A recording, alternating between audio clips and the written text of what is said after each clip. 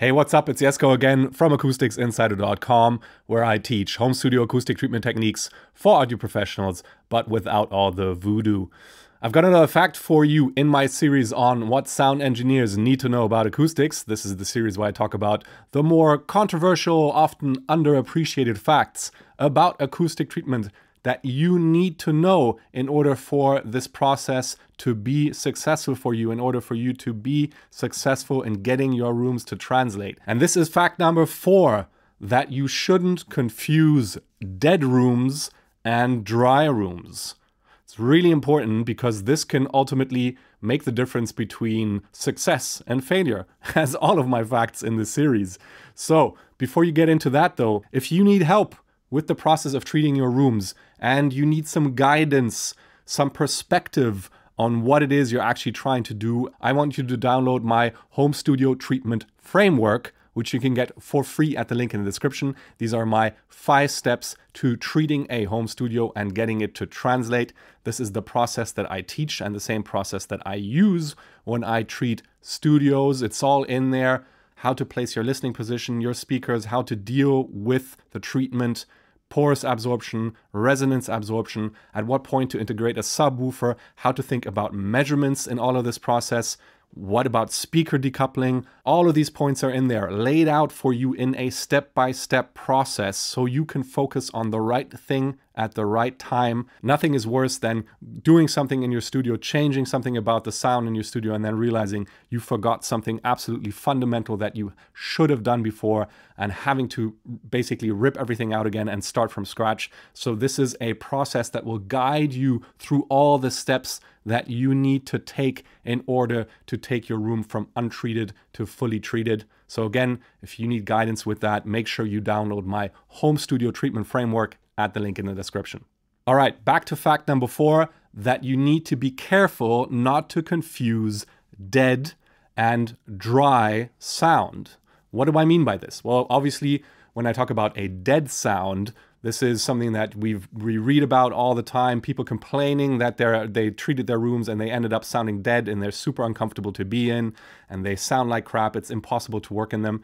Basically, what this comes down to is an unbalanced reverb time. And in practice, that usually means that the high frequencies are overdamped because of too many shallow absorbers in the room, and the low frequencies are undamped, unchanged, because there isn't really any bass trapping in the room. And so you get this imbalance in reverb time where you have very short highs, but very high lows. And that makes for a, a very uncontrolled room. It's very unpleasant to be in there in a way it even makes the problem in the low end even more obvious because you can now hear that in real detail, in proper detail, because the high end isn't bothering you so much anymore. But that's usually what, what people mean when they talk about dead rooms, and it's definitely something to avoid. On the other hand, there's dry rooms, and by dry, all I mean is that the room has a very short reverb time overall right? This isn't going to be perfect.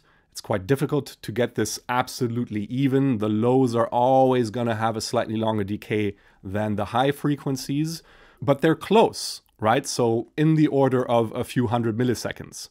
And the fundamental difference to a dead room is that with a dry room, you, you have very short reverb times, but it can still sound, it can still feel relaxed, open, and lively. And this has a lot to do with early reflections, scattered early reflections, is how the the the energy that gets reflected back to your ear in kind of the first 50 to 100 milliseconds, how that that component of the decay of the room actually comes back to your ears, how you change that, how that is affected by the acoustics, the acoustic treatment in the room because our brains actually judge the feel of the room on a lot more than just pure reverb time numbers.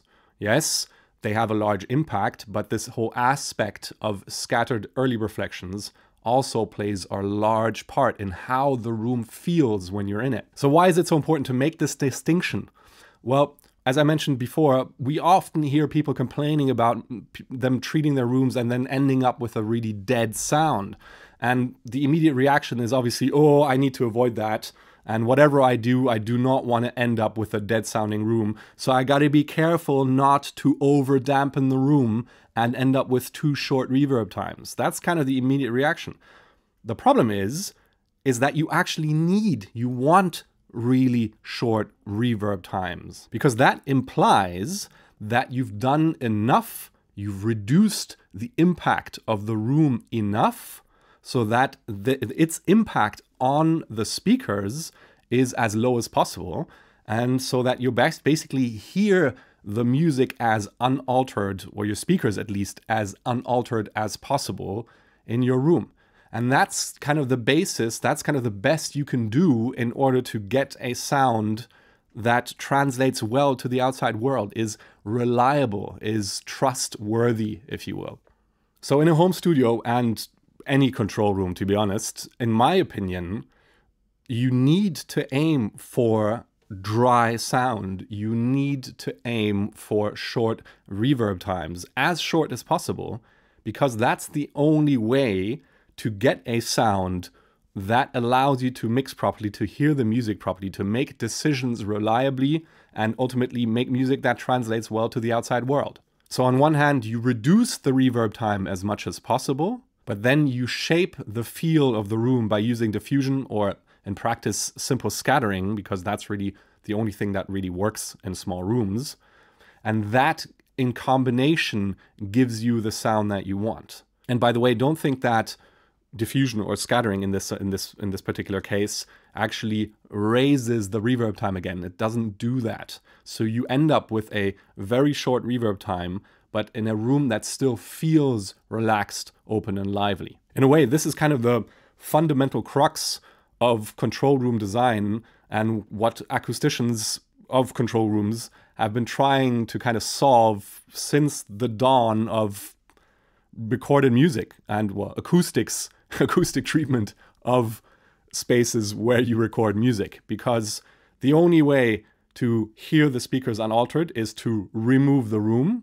So you really want to remove the room from a speaker perspective, but then you don't want to remove the room from the human perspective.